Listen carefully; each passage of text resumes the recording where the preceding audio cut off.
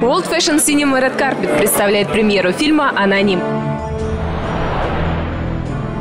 Все мы знаем, кто такой Шекспир. Когда говорят о живописи, вспоминают Пикассо. Когда говорят о литературе – Шекспира. Так был или не был тот самый легендарный Шекспир?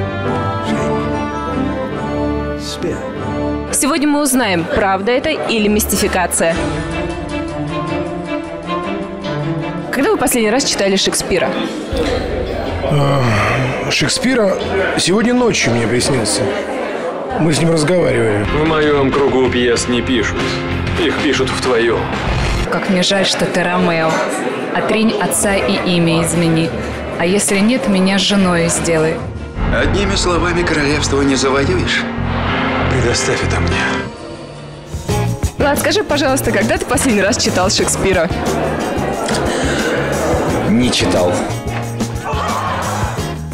Необычный вопрос. Ваш любимый писатель? Ой, с этим сложно. Такой, знаете, бездонный кладезь. Можно читать сколько угодно.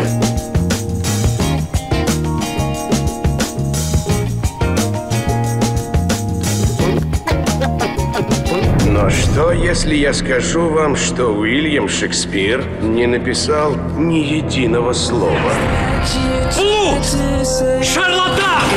Вообще Шекспир был, эм, ну, тот человек, который называется Шекспир, это конюх. Он был конюхом, и он был безграмотным. Это, в принципе, уже доказано. Десять тысяч душ внемлют идеям и словам одного человека. Это власть, Роберт. Возможно ли, что безграмотный человек мог написать такие шедевры? Я не знаю. Вот это хороший вопрос.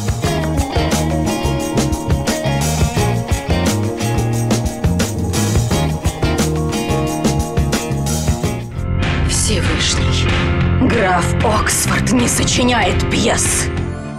А я всегда считала, что это был аристократ, э, который находился в оппозиции. Ты мог бы стать королем, если бы не был тем, кто ты есть. И фильм просто прекрасный. Это такое наслаждение от богатого, современного, при этом абсолютно классического, прекрасного кино. Поздравляю. Вы сегодня опубликовали поэму. Что, это вроде напечатал книжку? Знаете, какая разница, был ли Шекспир или писал э, для него кто-то другой? Главное, что есть эти великолепные, умопомрачительные произведения, которые написаны простым языком. Быть или не быть? Ни одно твое произведение не увидит свет под твоим именем. Все возможно, потому что слишком интеллектуальные вещи.